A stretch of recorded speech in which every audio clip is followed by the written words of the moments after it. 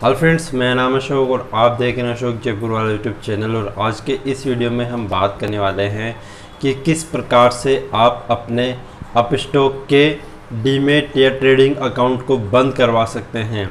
देखिए, यदि आपने इस अकाउंट को खोला है और आप इसमें ट्रेडिंग नहीं करते हैं और आपने इसको रेफर एंड अर्न के चक्कर में ही इस अकाउंट को ओपन किया है तो आपको इस बात का पता होना चाहिए कि इसमें आपको हर महीने उनतीस रुपये पचास पैसे देने होते हैं। इस हिसाब से आपको एक साल का तीन सौ चौवन रुपये देने होंगे। अब ये आपके जो, यदि आप इसके अंदर कभी भविष्य में ट्रेडिंग करेंगे तो ये आपके, जब भी आप फंड इसके अंदर ऐड करेंगे तो आपके डिडक्ट कर लिए जाएँगे। तो ऐसे में यदि आप इस अकाउंट को बंद करना चाहते हैं तो इसके लिए हमने इसकी पूरी प्रोसेस बताई है। तो उसको जानने के लिए आप इस वीडियो में लास्ट तक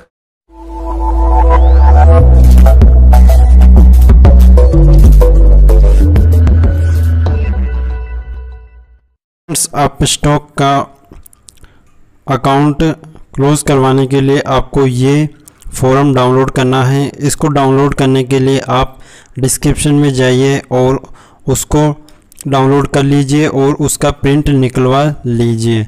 फिर उसके बाद में देखिए, यहाँ पर आपको क्या क्या भरना है, वो मैं आपको बता देता हूँ। तो देखिए, सबसे पहले आपको यहाँ पर जो फ़र्स्ट कॉलम आ रहा है, यहाँ पर आ रहा है एप्लीकेशन नंबर। तो ये आपको खाली छोड़ देना है, आपको इसमें कुछ भी नहीं भरना है, ठीक है? फिर उसके बाद में आपके पास यहाँ पर डेट आ रही है तो आप डेट डाल देना, जिस भी दिन दिन आप इसको फॉर्म को भर रहे हैं, ठीक है? उसके बाद में आपको, ये डालने के बाद में यहाँ पर आपको क्लोजर इनिशिएटिव बाई तो यहाँ पर आपके पास तीन ऑप्शन आ रहे हैं। तो यहाँ पर आपको बी ओ सेलेक्ट करना है, क्योंकि ये आप खुद से इसको बंद करना चाह रहे हैं, ठीक है? अब यहाँ पर उसके बाद में नीचे हैं to be filled by B O ठीक है? तो ये आपको भरना है तो यहाँ पर आपको आई पे टिक कर देना है, यदि आप सिंगल अकाउंट है आपका, और यदि आपका जॉइंट अकाउंट है तो आप जॉइंट होल्डर्स पे क्लिक कर सकते हैं, ठीक है? ये आप टिक कर लेना। उसके बाद में यहाँ पर आपके पास अकाउंट होल्डर्स डिटेल इसके अंदर आपको देखिए, यहाँ पर अपनी क्लाइंट आईडी डालनी है। ये आपके एट डिजिट की क्लाइंट आईडी होती हैं तो ये किस प्रकार की होती है, वो भी मैं आपको बता देता हूँ। तो फ्रेंड्स जैसे ही आप अपने अब स्टॉक के अकाउंट को खोलेंगे तो वहाँ पर आपको डीमेट अकाउंट नंबर इस प्रकार से एक ऑप्शन देखने को मिलेगा। यहाँ पर आपको 16 डिजिट यानी कि 16 डिजिट का एक नंबर देखने को मिलता है, जिसके अंदर 8 डिजिट तो आपके डीपी नंबर होते हैं और उसके बाद की जो लास्ट आठ डिजिट हैं, ये आपके क्लाइंट नंबर होते हैं। तो ये आपको यहाँ से देख लेना है और यहाँ पर आपको उसको फिल कर देना है। तो यहाँ पर आपको ये क्लाइंट आईडी डाल देनी है। क्लाइंट आईडी डालने के बाद में यहाँ पर आपको नेम ऑफ़ फ़र्स्ट और सोल होल्डर आपको यहाँ पर अपना नाम डाल देना है।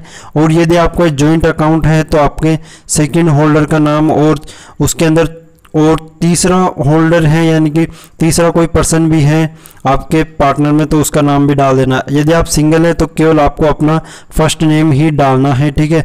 मतलब यहाँ पर आपको केवल आपका नाम डाल देना है पूरा, ठीक है? उसके बाद में यहाँ पर आपके पास है एड्रेस फॉर कोरस्पोंडेंस तो यहाँ पर आपको अपना एड्रेस डाल देना है, यहाँ पर आपको अपनी सिटी डाल देनी है, यहाँ पर आपको अपना स्टेट और यहाँ पर आपको अपना पिन कोड डाल देना है। ये सभी डिटेल्स डालने के बाद में यहाँ पर आपके पास एक ऑप्शन आता है रीज़न फॉर क्लोजिंग अकाउंट ठीक है, यहाँ पर आप देखेंगे रीज़न फॉर क्लोजिंग अकाउंट तो यहाँ पर आपको लिख देना है I am not trading and account maintenance charges are applied so I want to close this account बस आपको इतना सा लिख देना है। या फिर आप इतना सा भी लिखेंगे I am not trading on this platform बस आप इतना सा भी लिख देंगे तो भी आपका काम हो जाएगा। उसके बाद में यहाँ पर आपके पास है ऑप्शन आ रहा है balance remaining in the account if any to be यानी कि इसका मतलब ये है, मान लीजिए आपके आप स्टॉक या फिर आपके डीमेट अकाउंट में कोई भी शेयर पड़े हैं या फिर बैलेंस पड़ा है तो वो किसके पास जाना चाहिए? तो देखिए, सबसे अच्छा तो यही रहेगा कि आप अपने बैलेंस को निकाल लें, ठीक है? उसको पूरा क्लियर कर दे। अपने शेयर्स यदि पड़े हैं तो उनको बेच दें, और यदि बैलेंस पड़ा है तो अब उसको आप बैंक में ट्रांसफ़र कर ले। और उसके बाद में यहाँ पर आपको नोट एप्लीकेबल वाले ऑप्शन पे क्लिक कर देना है। यदि आप चाहते हैं कि आपका जो भी शेयर पड़े हैं या फिर आपका बैलेंस है, वो किसी और अकाउंट पर ट्रांसफ़र हो जाए, किसी और डीमेट अकाउंट पर तो यहाँ पर आपको इस वाले ऑप्शन पे क्लिक करना रहेगा और यहाँ पर जिसको आप ट्रांसफ़र करना चाहते हैं, उसकी डी पी डालनी है और फिर उसको क्लाइंट आईडी यहाँ पर डाल देनी है। तो इस प्रकार से आपको ये भर देनी है।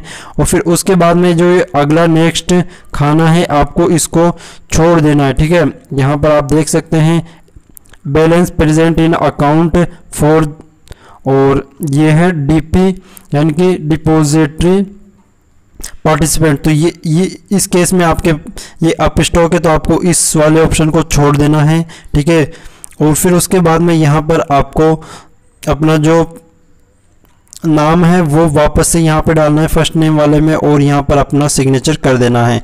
बस आपको यही डालना है, यदि आप सिंगल यानी कि आपका केवल खुद का अकाउंट यदि जॉइंट अकाउंट है तो यहाँ पे आपको सेकंड होल्डर और उसके सिग्नेचर ये भी करने हैं, ठीक है? और थर्ड है तो थर्ड के नाम और सिग्नेचर करने हैं, ठीक है? तो आपके यदि सिंगल है तो आपको केवल यही करना है। यदि आपका फ़र्स्ट और सोल होल्डर वाला अकाउंट है तो यानी कि आपको यदि आपने इस अकाउंट को अकेले खोला है और किसी की सहायता नहीं है, किसी का भी साथ में नहीं है तो आप इसको केवल अपना नाम और सिग्नेचर कर दीजिए। बस आपको ये चीज़ें करनी है और उसके आगे की चीज़ें आपको कुछ भी नहीं करनी है, ठीक है? यहाँ पर आपको अक्नोलॉजमेंट रिसिप्ट ये आपको इसके अंदर कुछ भी नहीं करना है, ये आपके जो अप स्टॉक वाले हैं, वो ही पूरा करेंगे। फ्रेंड्स आपको सभी चीज़ें भरने के बाद में इसको जो पोस्ट है, इसको आपको इस एड्रेस पे भेजना है। तो ये एड्रेस आप नोट कर लीजिए। ये मैं आपको डिस्क्रिप्शन में भी प्रोवाइड करवा दूँगा। वहाँ से भी आप इस एड्रेस को देख सकते हैं। तो इस एड्रेस पे आपको भेज देना है। तो इस प्रकार से आप ऑफलाइन अपने अप स्टॉक अकाउंट को बंद करा सकते हैं, यदि आपका ऑनलाइन अकाउंट बंद नहीं हो रहा है।